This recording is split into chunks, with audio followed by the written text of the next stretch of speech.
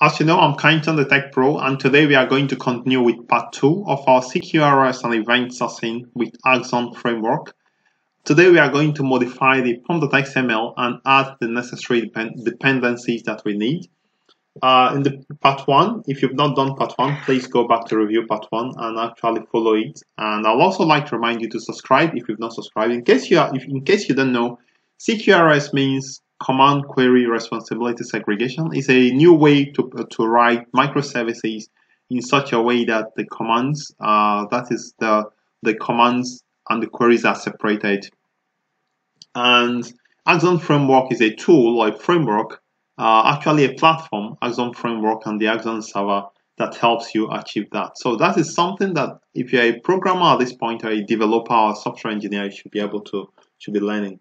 So in part one, we set up the, the, the packages, the command, the GUI, and the query. And now we are going to add the necessary plugin. So in this demo or in this uh, tutorial, we are going to be using in our project a mix of Kotlin and Java. Why I want to use Kotlin in addition to Java is Kotlin makes it easy for us to write a class, a complete class in concise manner. In one line, we can write a complete class uh, and these classes are called data classes. So the first thing we want to do to achieve that is to add the necessary plugin. So now we have the plugin code right here. Uh, I'm actually going to copy it and paste in the plugin slash plugin section of the pom.xml. So just copy it and open the pom.xml and go to the plugin section. So you can see the plugin section, have plugin slash plugin. So I'm going to just shift this one down a bit and I'm going to paste it right here and we have the plugin slash plugin. This is what we've added. So this makes it possible for us to use in a single project a mix of Kotlin and Java. So the next thing we want to do is to add the Axon framework dependency for us to give our project the, the, the, the Axon framework functionality because to achieve CQRS and event sourcing you need a framework and that that Axon framework is the framework to use. So the first thing we want to do is to add the um, to add the, the Axon framework version. Uh, uh, for this tutorial being 2019 November, uh, we are using Axon framework Axon uh, 4.2. That is the Axon version.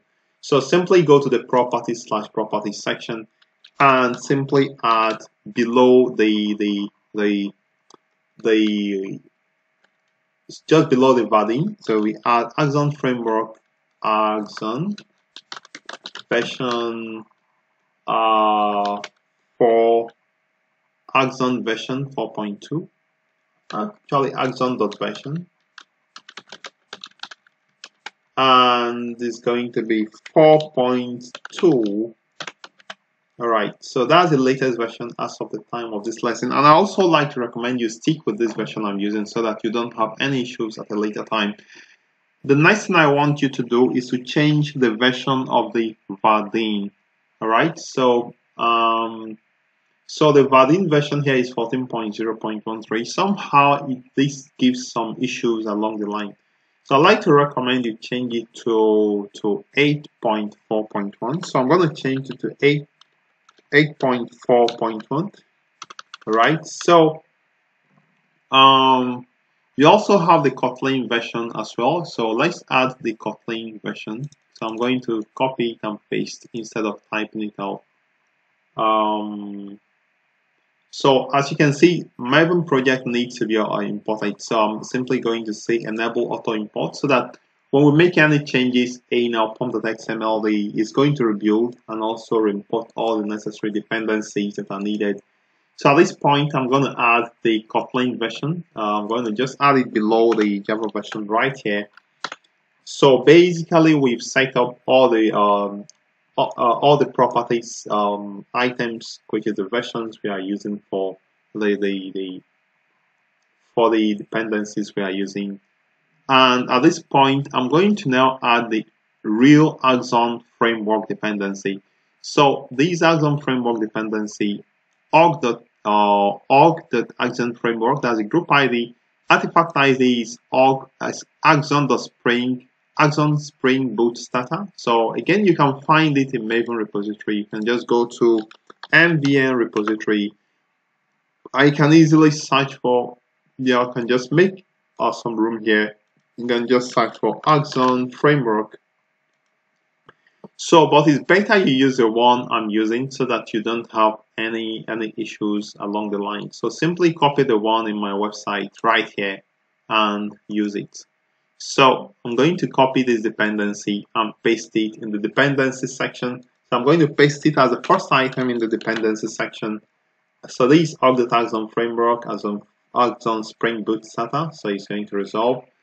All right. So at the end of the day, the complete uh, pom.xml file looks like this. So in case you have challenges, you can actually uh, copy this and paste, but you also take note of the, the, the name of the application.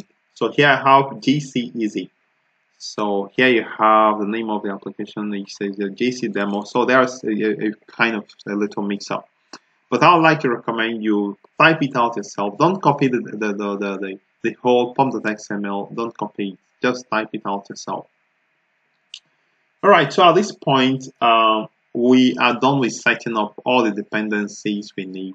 So, and we've actually completed part two. So I'm going to just save all. Now in part three, we are now going to set up the commands, the events, and the aggregate. So I'm going to stop here for part two. Make sure you do it yourself. If you have challenges, let me know in the comment box below and feel free to subscribe and like and share this video around because we want as many as possible to get uh, involved in using Axon framework to build microservices as that is a the revolutionary way, the, the, the, the future of microservices is CQRS and event sourcing. I remain Kindson the Tech Pro and we see in part 3.